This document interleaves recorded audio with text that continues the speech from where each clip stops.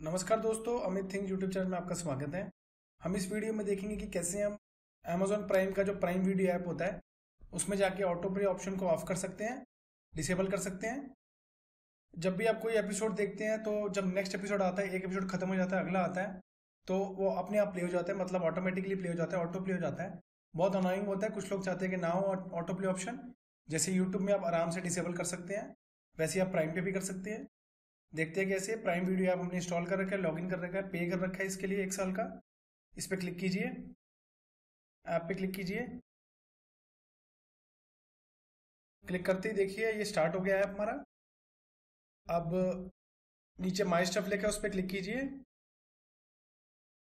Click करते ही watch list आ गई, हमारा अकाउंट आ गया। यहाँ पे सेटिंग्स ऑप्शन है सेटिंग बटन लिखा है, उस पर क्लिक कीजिए।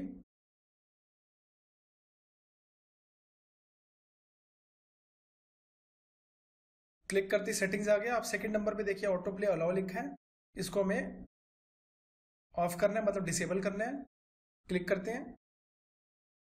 क्लिक करते ही, देखिए allow auto play on this device allow auto play on this device enabled है। इसको डिसेबल करते हैं। देखिए, लिखा भी है।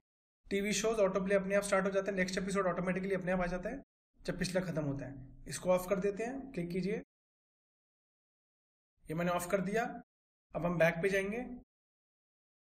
अब देखिए सेकंड नंबर पे ऑटो प्ले पे ऑफ़ लिखा। है तो दोस्तों, हमने इस वीडियो में देखा कि कैसे हम ऑटो प्ले ऑप्शन को ऑफ़ कर सकते हैं अमेजोन प्राइम ऐप पे प्राइम वीडियो के ऐप पे। अगर आपको वीडियो अच्छी लगी तो अमित थिंग्स यूट्यूब चैनल को ज़रूर सब्सक्राइब कीजिए।